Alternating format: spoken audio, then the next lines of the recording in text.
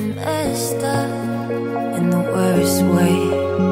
Don't feel like I could take on the world and make it better. What good could I do if it's not with you? Why does it hit me the hardest when I'm off my game? When I'm feeling strange already? Why do I miss you the most when I'm feeling feel the same?